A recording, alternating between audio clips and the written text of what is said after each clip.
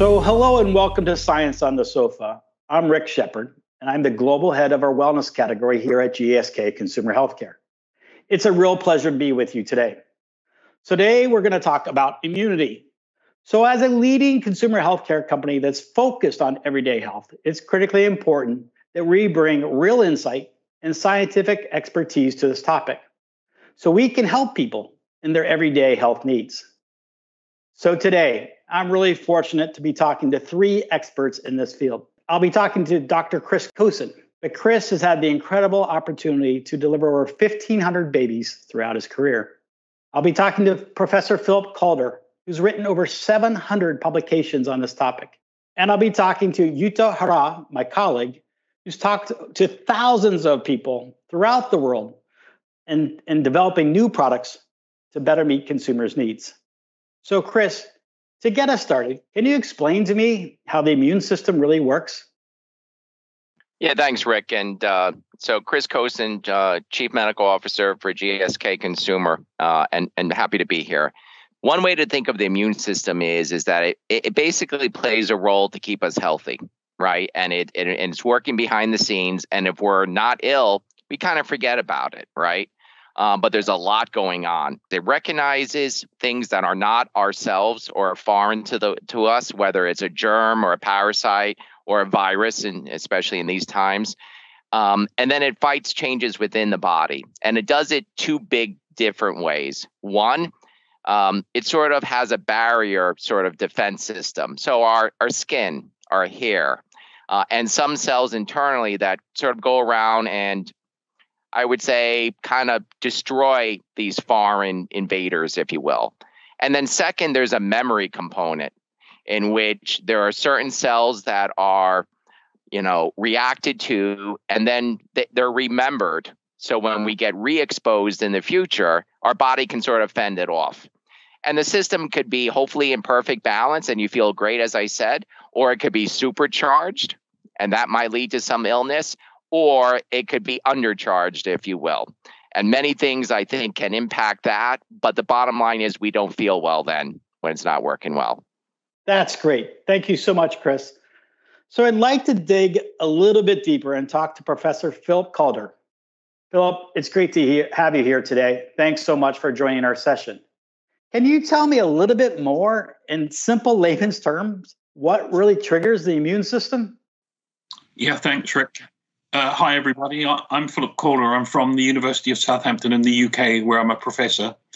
So, the immune system, as Chris says, is really there to defend us against foreign invaders, bacteria, viruses, and so on. So, the trigger is really the presence of these uh, foreign bodies, um, and these are recognized and reacted to uh, by the cells of the immune system. Some of them simply destroy those invaders Others have a more sophisticated approach. And this can generate, in the end, what's called immunological memory. So the immune system can actually remember its encounters. That turns out to be really important for vaccination, which you know is very timely at the moment. Because the vaccination idea is you introduce a little bit of something which uh, could be harmful, but in the context of the vaccine isn't harmful, and you educate the immune system and then it remembers that encounter so that when it comes into contact with the real entity, it's sort of souped up and ready to go. It reacts very quickly, and uh, of course, that protects uh, protects us from those invaders. Oh, that's really interesting. Thanks so much, Philip. So the immune system is obviously critical to our overall health. And so, what can I proactively do to better take care of it? Yeah, that's a great question. Of course, this is something a lot of people are asking at the moment. So, there are many factors that influence our immune response. Um, some of those are things we can do something about. Some of them are things which, unfortunately, we can't do anything about. So, one of the big factors influencing our immune response is age. As we age, our immune system declines.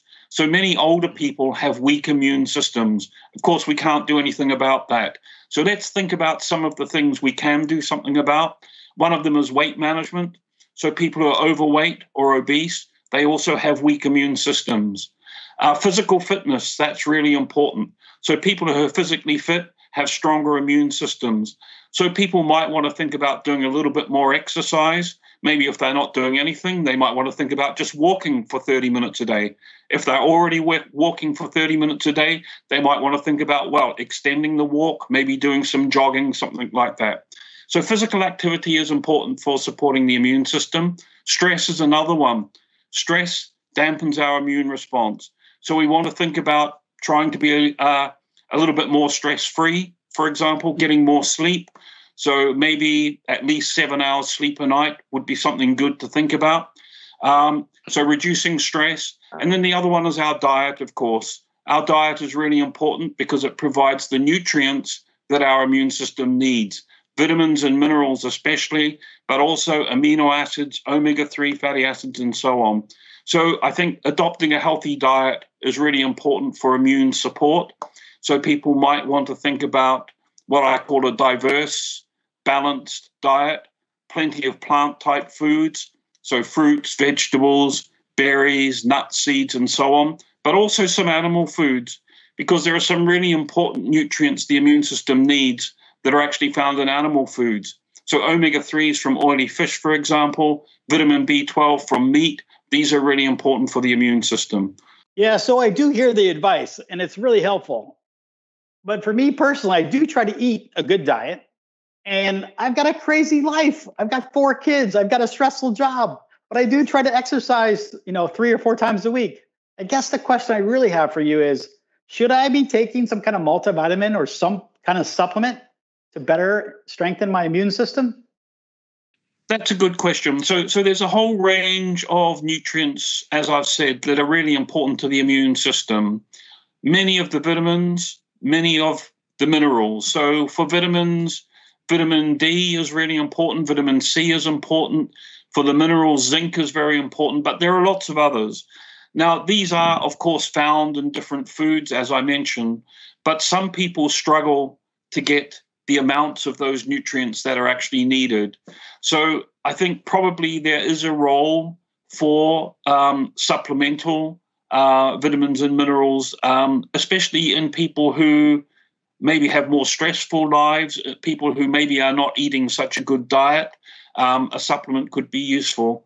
Um, now, each of the nutrients I mentioned, and I just picked out three vitamin C and D and zinc as examples, but there are many. The B vitamins are important as well.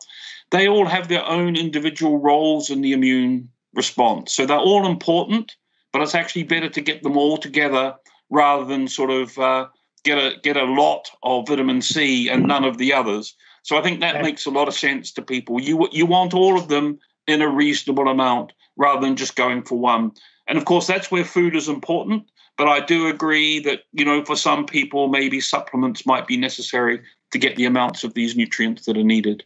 I really appreciate it. Thank you so much.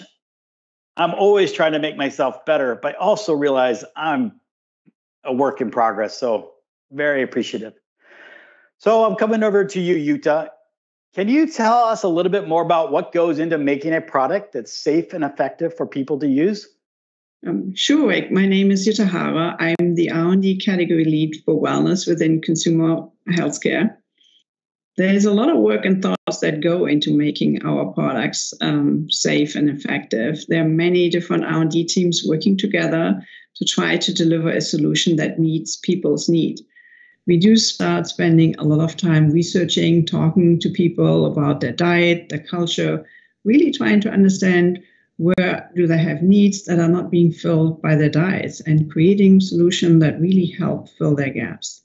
There are different reasons why people want to take dietary supplements. Sometimes it's to fill gaps in my diet because I'm on a special diet. Sometimes there are cultural reasons for not eating something or just plain don't like something. For example, if I don't like fish, yet I might know that omega 3 is really important for me. How do I make sure that I get this within my diet? as a researcher, we do understand that. And we want to look at literature and science to deliver the best proposition as possible for people. Uh, we do want it to be robust scientific evidence when we come up with ingredients for a product. And also want to make sure it's a great experience and it's easy and as seamless to take as possible. The products are developed with cross-functional teams who are experts. You know, they have backgrounds in nutrition, product development, clinical, regulatory, consumer understanding.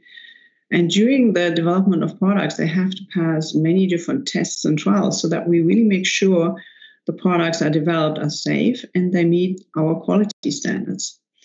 We really want to deliver the best possible products for people so that it's easy for them to take and it fits into their lifestyle. So, Jutta, in our research, we see that people are really confused uh, when choosing products in this category. Just think about when we go into stores, we see six feet, eight feet, 10 feet of vitamins, minerals, and supplements. So, my question to you is how do we really help people choose the right product for them? Uh, that's a great question, Rick. We know that the category is really hard to shop. There's so much information out there that's coming at you from different direction, you know, from your doctor, your neighbors, you might see brand commercial, or you have your special trusted friend. Everybody has an opinion. So doing some research upfront and then looking at the product label is probably the best advice I have in order to understand what's in the product and how does it fit your specific needs. Um, at the back of the product, there's a standardized label, and that's the same in all the countries around the world. And that really helps you understand what is the vitamin, mineral, or nutrients in the product. And most importantly, you compare that to your recommended daily value because that's different in every single country. Um, that's because, you know, for me living in the US, my diet is very different from somebody in living in Asia or Europe um, it's not only the diet, but there's also different cultural influence. So it's really important for you to look at the product that's relevant for your country and where you live. Got it. Thank you very much. My final question goes to Chris and Philip. And the, the question I have for you is I've been doing a lot of reading that suggests that there's a link between my gut health and my immune system. Can you tell me a little bit more about that? So, if we think about the last 20 years, this has been a huge area of research, right? And it really focuses around the healthy gut function and its relationship to other parts of the, the body, if you will. And, you know, Philip talked about stress and its impact. And we're learning a tremendous amount of the impact of stress on the microbiome in the GI tract, and then its impacts in other parts of the body, right? So it's not just the GI tract; it's the brain, um, and it's it's it's even the immune system, if you will, that you asked about before as well. But Philip, I know you published extensively around this um, and the microbiome impacts, et cetera. So over over to you, if you would. Yeah, thank thank Chris. So so the gut microbiota or microbiome really describes the healthy bacteria that live in our gut. So it's really important for people to realize not all bacteria are harmful, some of them are actually helpful. Um, so we need these bacteria. And one of the important things they do is sort of regulate our immune response and help us control inflammation. So these bacteria are all about sort of setting the balance right for the body. And that's why, you know, gut health is actually whole body health. And Chris alludes to the fact that um, this influence goes right through the body, including the brain. So there is a gut brain axis. So our mental health, our mood, our, our degree of anxiousness, all of these things seem to be partly affected by our gut microbiota. Now, from a nutritional point of view, this is really important because, of course, our diet affects our microbiota. So again, this is another link between nutrition and a healthy immune system. And the same sort of diet that's really good for our supporting our immune system is exactly the same diet that supports a good gut microbiota. Thank you very much. Your insight is really helpful. But I hate to say this, we're running out of time. So I want to thank Philip, Jutta, and Chris for joining me here on the sofa. I've really enjoyed our great conversation about the immune system and what we can all do in our daily lives to strengthen it. So thank you very much. I really appreciate you sharing your expertise and insights. Thank you and have a great day.